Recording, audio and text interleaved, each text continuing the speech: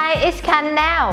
Um, thông thường mọi người đi học mọi người phải mang một cái ba lô để đựng sách vở, dụng cụ học tập. Với các bạn nữ thì các bạn sẽ mang đồ make up, đúng không? Vậy mọi người có biết ba lô trong tiếng Anh gọi là gì không? It is backpack. Backpack. Vậy tôi đã làm mất cái ba lô của mình rồi. Trong tiếng Anh mình sẽ nói như thế nào nhỉ? I lost my backpack. I lost my backpack. Vậy uh, các bạn nhớ học và áp dụng nhé.